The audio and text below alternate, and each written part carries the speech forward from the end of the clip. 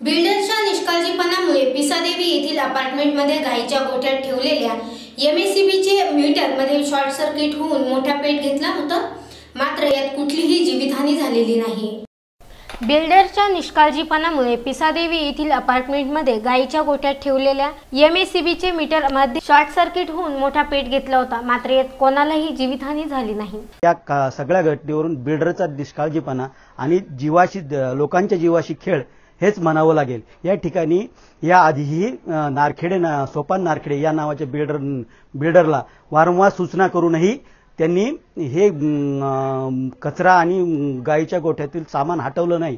आणि त्यामुळेच हा अनर्थ घडला असा आमचा आरोप आहे. ही घटना रविवारी पहाटे साडेचारच्या सुमारास पिसादेवी येथील अलंकार अपार्टमेंटमध्ये घडली आहे. बिल्डरने एमएससीबीचे मीटर गाईच्या गोठ्यात ठेवल्याने ते शॉर्ट सर्किट होऊन एमएससीबीच्या साहित्यासहित गोठ्यातील चाऱ्यानेही मोठा पेट घेतला होता. बिल्डरला वेळोवेळी सांगूनही लक्ष दिलं नव्हतं. मात्र आता जर ही जीवितहानी झाली असती तर याला कोण जबाबदार असं या अलंकार अपार्टमेंटमधील नागरिकांचे म्हणणे आहे. हे झालेल्या शॉर्ट सर्किटला जबाबदार बिल्डरच आहे असं त्यांचं म्हणणं आहे.